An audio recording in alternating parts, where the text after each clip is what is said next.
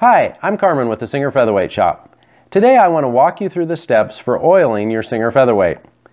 For this video we're going to use one of our demo machines. Now if a machine comes into the shop and it has uh, severe rust or damage of any kind, uh, instead of it being thrown out, we use it as a teaching tool. So this machine here, uh, my son came up with this idea. He's marked all the oiling points in bright orange paint.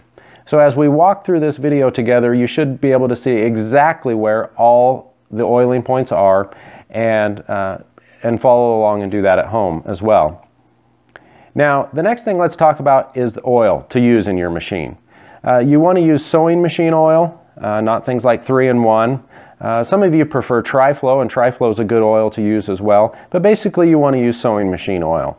And it needs to be fairly new sewing machine oil. These cans right here, they still have oil in them, but you can see the dark color there. The oil has long since uh, varnished, and it would not be good to use those in your machine. So any of the metal cans or the glass bottles or whatever, uh, they're quite collectible. You can use them as a display item, but don't put that oil in your machine. We carry this oil here in the shop. Uh, the reason I like it is because of the long brass spout. It's easy to get uh, just one drop of oil to each of the oiling points. And so that's what we're going to use today for our video. Okay, before we get started, it would be a good idea to download and print our color-coded oiling chart, which can be found on our website, singer-featherweight.com, and then go to the Schoolhouse section and Maintenance and Tutorials, How to Oil the Machine. So the first thing you want to do is to remove the spool pin plate from the top of the machine using an appropriate size screwdriver, holding your fingers down close to the tip to avoid any chance of the screwdriver slipping off and scratching your machine.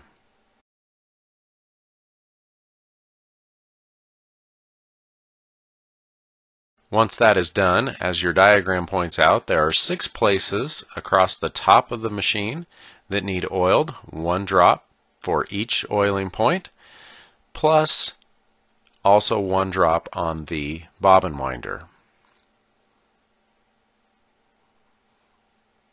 Here they are again in slow motion.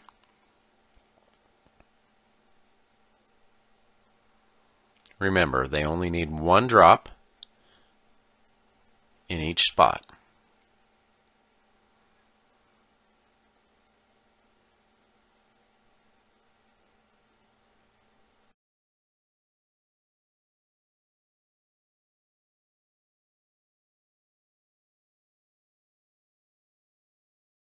And this next one is for the bobbin winder. Now, the manual does show two oiling points for the bobbin winder. However, I prefer to not do the one because I want the bobbin winder to be somewhat stiff so that the pressure is held down on the belt. That's why I only prefer to do the one where it's spinning, not the arm itself. Okay, these next two spots are important. There is a vertical shaft that runs up through the neck of the machine and that shaft goes through two bronze bushings. It's high speed and so those bushings need lubricated to reduce the friction there. And so that's what these two spots are. They're often overlooked, but you don't want to you don't want to miss those. And now we're going to remove the faceplate from the front of the machine. It's just held on by that one uh, thumb nut there. You can take that off and set it aside. Okay, now for oiling behind the faceplate, you're going to notice your diagram shows that most of these spots get a drop for every 8 hours of use. You need to spin the hand wheel to get the take-up lever up to the top so that you can reach these points. In the beginning, on the front side, there's three spots that are pretty easy to get to up at the top. We'll go through them again here slow. And this next one is behind that dot there.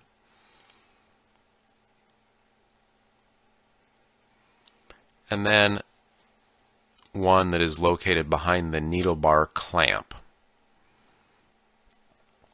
And as you can see as the hand wheels turn that the needle bar goes up and down through the housing of the machine. So it needs a drop of oil right there where that bar goes through the housing.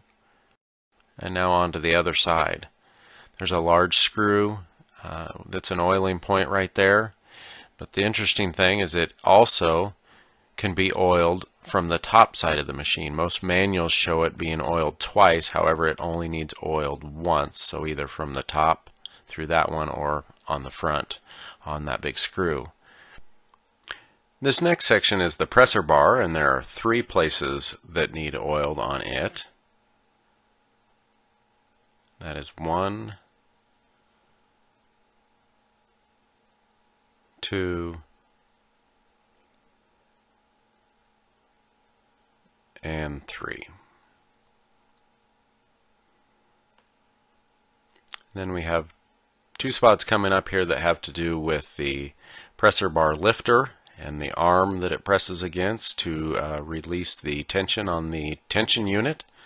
So there's one spot there and the second spot there. Now we come to the hook assembly. Uh, you'll notice in your diagram that there's a green dot on this. It means it gets one drop of oil every day that you use your machine.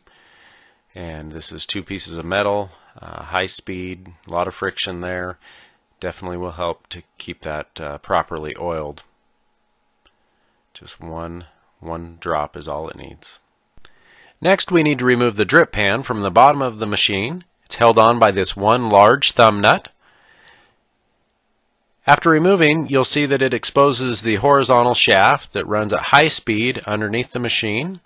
It goes through a bronze bushing on each end and needs oiled at each end as well. There's two spots listed here, and it needs oiled for every 8 hours of sewing use. Okay, the rest of the oiling points underneath the machine are all points where metal rocks against metal, uh, where the feed dog lifting and rocker arms are. And there's not a lot of movement, not a lot of friction there. So these just get oiled for every six months. Okay, there's a total of 10 of these spots underneath. This being the first, and the second, the third,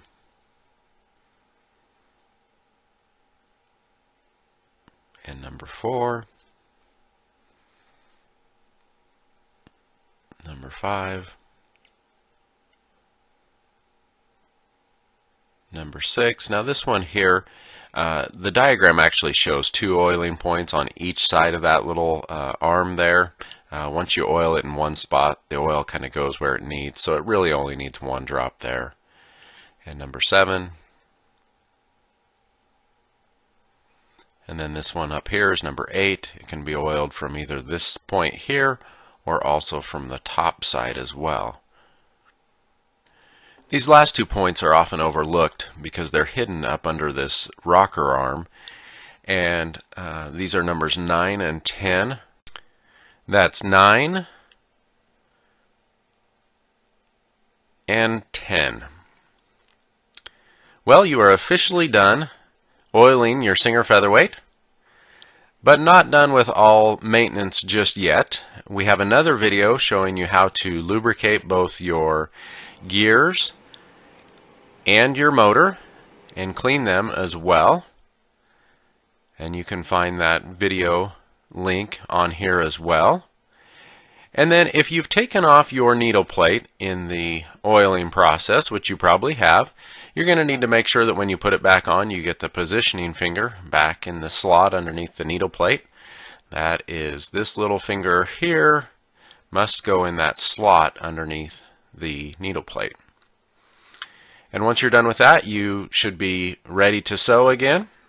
Uh, thank you for watching our video. If you have any questions, please uh, email us here in the shop at info at singer-featherweight.com or you can chat with us on Facebook or pick up the phone and give us a call. Have a great day.